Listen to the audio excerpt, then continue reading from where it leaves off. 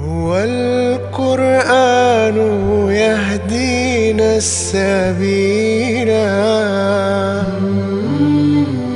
ويمنح من تلا خلقا نبيلا. كأن ملائك الرحمن تمشي. على قدمين صبحا أو أصيلا السلام عليكم ورحمة الله وبركاته. الحمد لله الذي شرف المسلمين بالقرآن الكريم وجعله لهم عزا وفخرا. قال تعالى: وإنه لذكر لك ولقومك وسوف تسألون. ويسر كلماته سبحانه وتعالى للتلاوة والحفظ ومعانيه للتدبر والفهم. قال تعالى: ولقد يسرنا القرآن للذكر فهل من مدكر. والصلاة والسلام على سيد الورى وإمام أهل التقى نبينا محمد وعلى آله وأصحابه أجمعين أحبتي في كل مكان أهلا ومرحبا بكم أسعد بصحبتكم في برنامجكم قيم القرآن كما أسعد بصحبة شيخنا وأستاذنا وحبيب قلوبنا فضيلة الشيخ الدكتور زكي محمد أبو سريع أستاذ التفسير وعلوم القرآن بجامعة الأزهر الشريف. أهلا ومرحب فضيلة الدكتور. أهلا ومرحبا بكم وبالسادة المشاهدين والسامعين. شيخنا الحبيب موعدنا في هذا اللقاء مع فضيلة عظيمة من فضائل القرآن وقيمة عالية. كثر في القرآن الكريم الصدق والحث عليه. بل وأمرنا به. قال الله تبارك وتعالى ليجزي الله الصادقين بصدقهم. نعم. وقال تعالى من المؤمنين رجال صدقوا ما عاهدوا الله عليه. وقال تعالى ولقد فتنا الذين من قبلهم. نعم. فلا يعلمن الله الذين صدقوا ولا يعلمن الكاذبين. نعم. وقال تعالى واجعل لي لسان صدق في في الآخر الآخرين. نعم. وقال تعالى قال الله هذا يوم ينفع الصادقين صدقه. صدقهم. نعم. ما يقرب من 153 مرة. 153 مرة نعم. بصيغ مختلفة. نعم. فالصدق من أكبر القيم القرآنية. نعم. شيخنا ما هو الصدق؟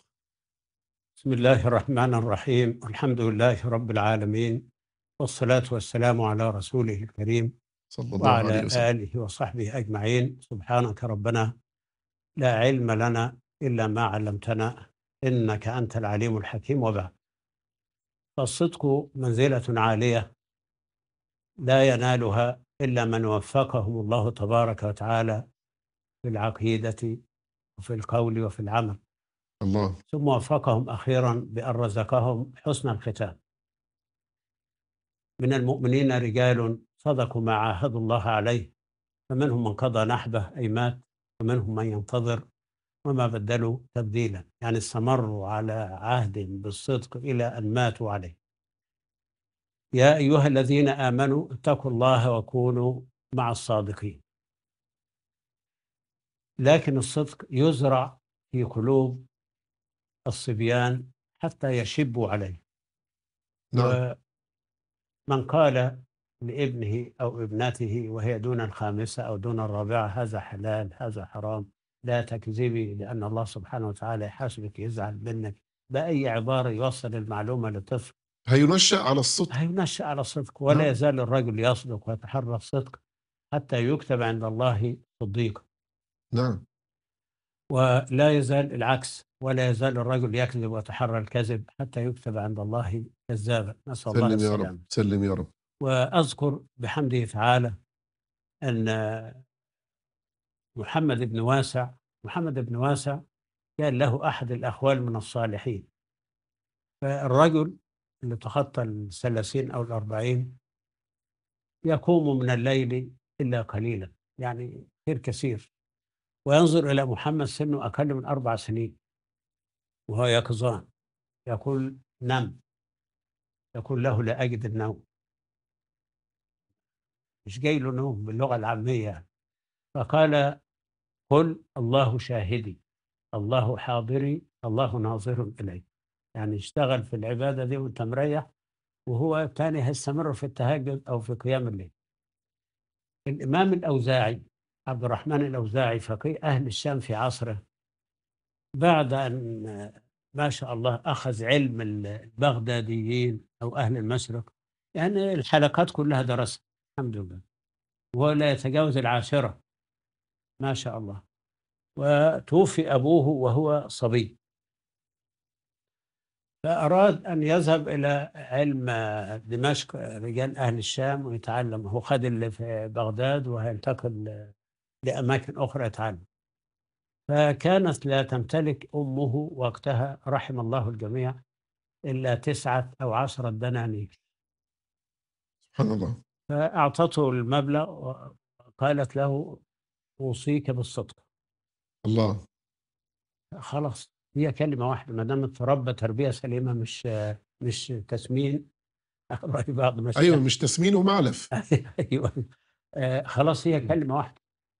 بترسخ في القلب فالمهم صار في الطريق فوجد قافلة تسافر إلى الشام فسار بجانبهم يعني فوجدوا عصابة تقطع الطريق. فهو واقف ينظر ولا يستطيع أن يغير المنكر بيده. فأخذوا قطاع الطرق خذوا من ال- ال- القافلة واحدا واحدا. أخذوا ما معهم من أموال. وتركوهم يسيرون. فجاء عند الطفل مستهتر به كبير ال- العصابة. وأنت ماذا معك؟ أنت يا ابني إيه اللي معك؟ قالوا معي تسعة دنانير فالتفت بعضهم إلى البعض الآخر وقال ألا تعرفنا؟ قال أعرفكم ماذا تصنعون؟ آه قالوا له نقطع الطريق قال أنا أعرف ذلك قال ما الذي حملك على الصدق؟ قال أمي وصتني حينما ودعتني بالصدق فسبحان الله وبحمده كان سبب في توبة قطاع الطرق. وقالوا أنت تصدق مع أمك ونحن لا نصدق مع الله. أرسلوا في طلب القافلة حتى تعود وكل واحد يأخذ متاعه. الله واحد. ما شاء الله. محل ده الشاهد بصدقه بس. بصدقه نعم. بكلمة بريئة تخرج من قلب عفيف عن الكذب وعن اللف والدوران وعن الحيلة وعن الخديعة وعن كذا. فهدى الله به أقواما. وعافاه من آه، هذا الأثر السيء اللي هو قطع نعم. الطريق يعني. لذلك يا شيخنا يعد الصدق من مكارم الأخلاق الحميدة نعم ويا أيها الذين آمنوا اتقوا الله وكونوا مع الصادقين وأقول الوقفة هنا يا أيها الذين آمنوا ولم يقل أيها الكذابون عودوا نعم. إلى ربكم بالصدق أبدا ده هم مؤمنون بالفعل ولكن يوصيهم أن يستمروا على هذا العهد الحسن أن يستمروا في صدقهم حتى يلقوا ربهم تبارك وتعالى نعم. وهو عنهم راض. نعم. لذلك شيخنا ال- النبي صلى الله عليه وسلم كان يلقب بالصادق. صلى الله عليه وسلم الصادق المصدوق. نعم صلى نعم. الله عليه وسلم. وأيضا آه، أتذكر أن سيدنا عبد الله بن عمر كان كثير الاعتمار حتى قال بعض ال- العلماء أن اعتمر قرابة ألف مرة. والوسيلة وقتها متاح والسفر موجود وما فيش لا جواز سفر ولا غيره. فالمهم ده مش محل الشاهد. محل الشاهد أن معه غلام يعني خادم ملكية يمين لكن يعامله كأبنائه سيدنا عبد الله بن عمر يعامل ملكية اليمين أو الرقيق أو بلغة العامة العبد يعامله كمعاملة أبنائه ما شاء الله. لا يفضل لا, لا يفضل نفسه عليه لا في مأكل ولا مشرب ولا سكن ولا ملبس ولا فهم وهو عائد من العمرة أو هنفترض أنه عائد من الحج عائد من السفر. فقال لغلامه قف هنا حتى آتيك. يعني خليك في المكان ده لحد ما أرجع. فقال له أفعل. ما هو حتى الخادم يجيد اللغة العربية والمخدوم يجيد اللغة العربية. قال له أفعل فدخل في البادية مثلا 100 متر أكثر أقل الله أعلم. ما عملش شيء يعني وقف برهة من الزمن ورجع. قال له ماذا صنعت؟ قال لم أصنع شيئا. غير أني وجدت رسول الله صلى الله عليه وسلم صلى الله عليه قائما وسلم. قائما في هذا المكان يوما. في يوم من الأيام شفته واقف كده لا صلى ولا تيمم ولا توضأ ولا أي شيء. فأردت أن أحيي بهذا العمل سنة. ده من صدقه في الاقتداء بالرسول صلى الله عليه وسلم حتى بيقلدوا في الأمور التي لم تظهر الحكمة منها. لا لا توضأ ولا تيمم ولا ركع ولا أي شيء وقف فترة ثم عاد. فكون سيدنا عبد الله بن عمر يصدق في الاقتداء بالرسول في كل صغيرة وكبيرة صلى الله عليه أو في وسلم. كل ما ظهرت الحكمة منه أو لم تظهر الحكمة منه هذا من أعلى درجات الصدق مع الله أولا مع الرسول ثانيا ومع غلامه الذي يقتدي به في كل حركاته وسكناته إذا يا شيخنا كما تفضلتم الصدق ليس على فئة معينة نعم. ولكن الإنسان يكون صادق مع ربه نعم. صادق مع نبيه نعم. صادق مع نفسه نعم. صادق مع عامة الناس. نعم. فالصدق ليس ل... ل... مع الله فقط أو مع النبي فقط نعم. أو مع نفسك فقط. والله أنا تذكرت من سنين مضت كان بعض الزملاء وهو على سفر أتاه زائر من بدون موعد وهذا خطأ المفروض اللي ناوي يزور سين أو صاد من المسلمين الموبايل حتى مع مع اللي سنه عصر الآن في ال- في البيوت يعني اتصل بأخيه فلان أو أخي فلان قل له هل وقتك يسمح أن أزورك غدا؟ هل وقتك يسمح أن أزورك اليوم؟ إن كان يسمح خير ما يسمحش يديله ميعاد حتى لو بعد أسبوع ده إن شاء الله ده هيجي معانا في عنوان العفة والعفاف. آه نعم. آداب الاستئذان آه نعم. عفة. فالشاهد شهدنا إليها الدين الإسلامي. آه نعم. فالمهم لما وصل ال- الأخ الزائر بلا موعد ترك الباب رد عليه وقال ارجع الآن فأنا متعب. وإن قيل لكم ارجعوا فارجعوا. فارجعوا. نعم. أو ده من الصدق. ومين يقدر يعمل كده دلوقتي يا شيخنا؟ لا اللي, اللي بيخاف من الله مئة في المئة. أحسنتم. يرضي الله, الله أكبر. ثم يرضي الرسول صلى الله عليه وسلم ثم لا يعبأ بالخلق. ولابد إن اللي اللي بيقال له ارجع يجد في نفسه رضا. لابد. مش تسخط. والله ما أجي لك تاني. أي لو يعني يبقى هو اللي يأسم اللي رجع زعلان ده هو اللي بيأسم لأنه رد أدبا من آداب الإسلام. أحسنتم. نعم فنسأل الله هو فعلا ادبا من آداب الإسلام. نعم. شيخنا يعني الصدق فعلا منجاه بعض المعاني كده يعني نريد أن فضيلتك تعقب عليها. اجرح شخصا بالصدق لكن لا تسعده ابدا بالكذب. نعم. ده بيلتقي مع الحديث. الله يبارك فيكم. اجرح بالصدق يعني عاتبه. ما يقصدش الأذى. نعم. لا هو يقصد عاتبه آه، بالصدق. يعني ما تتكولش عليه يقول أنا زعلان منك في يوم كذا حصل كذا. وكان الأولى مني بكلمة طيبة. مش عاوز غير الكلمة الطيبة ده معنى اجرح فلان بالصدق ولا تجامله بالكذب. نعم. ما يبقاش الواحد صدره فيه ضغينة من فلان ويقول له ده أنت من الصالحين أنت من كذا أنت من كذا وبعد ما يمشي يشتمه. هذه العبارة سليمة ولها حيز من الواقع الآن. نعم.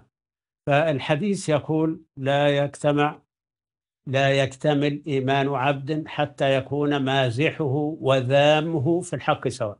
الله. يعني إيمان ما شاء الله. الشخص ما يصلش إلى الكمال.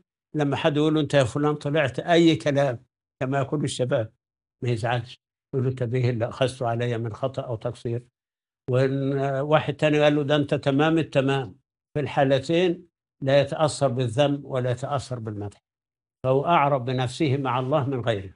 نعم. نعم. شيخنا هل فعلا السكوت صدق لا غش فيه؟ ال- السكوت بشرط ألا يكون سكوت على الباطل. نعم طبعا. لكن لو وجد أي باطل يعني ادعو إلى سبيل ربك بالحكمة والموعظة الحسنة وجادلهم بالتي هي أحسن. لذلك كثرة الكلام بلا فائدة نعم. قد يؤدي إلى الكذب. أكيد أكيد خاصة لأن ال- الكذب ليس له ثوابت لذلك اللي بيكذب اليوم بعد عشرة أيام عنده استعداد يحلف بالباطل إنه ما حصل. سلم يا رب. لأن ما- خلاص بينسى أول بأول. فنسأل الله أن نكون من الصادقين الذين قال عنهم القرآن يا أيها الذين آمنوا اتقوا الله وكونوا مع الصادقين. نعم والحديث بقى العمدة اللي فضيلتك ذكرت طرف الله- منه الله إن الصدق يهدي إلى البر وإن نعم. البر يهدي إلى الجنة نعم. وإن الرجل ليصدق حتى يكتب عند الله صديقا. نعم. وإن الكذب يهدي إلى الفجور. نعم. وإن الفجور يهدي إلى النار. وإن الرجل ليك ليكذب حتى يكتب عند الله كذابا. نعم. سلم الله. يا رب. نسأل الله. السلامة اللهم ال-. ال- الحاجة السارة لو الإنسان وصل حتى للثمانين وتاب توبة صادقة مستوفاة الشروط الأربعة معناها آه، من تاب تاب الله عليه. الله. فأولئك يبدل الله سيئاتهم حسنات نعم. يعني ما الواحد لا يستكثر الذنب ويقول أنا مش هتوب هي ضايعة ضايعة. على حد تعبير بعض الناس لا. يجدد التوبة حتى لو تخطى الثمانين. نعم. قل يا عبادي الذين أسرفوا على أنفسهم لا تقنطوا من رحمة الله. إن الله يغفر الذنوب جميعاً. سبحانه وتعالى. الحمد لله. شيخنا الحبيب جزاكم الله خيرا. بارك الله في. علمك وفي علمك. وإياكم. سعدنا بكم في هذا اللقاء. نحن أسعد الحمد لله.